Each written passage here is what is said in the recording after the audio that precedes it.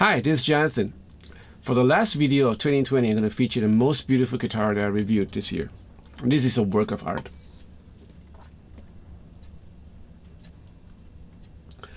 This is from Burns. This is the Burns Bison 64 in Green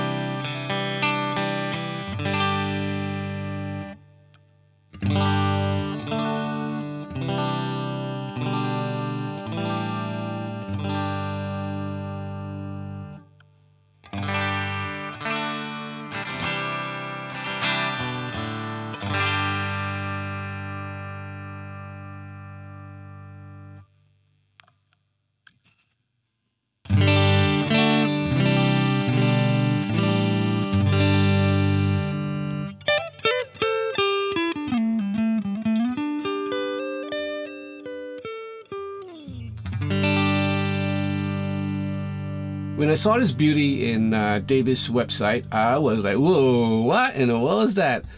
It's so beautiful that I don't think people will buy it to play, right? So, but I was intrigued, so I asked Janet. I want to thank Janet from Davis Guitar for sending this guitar for review.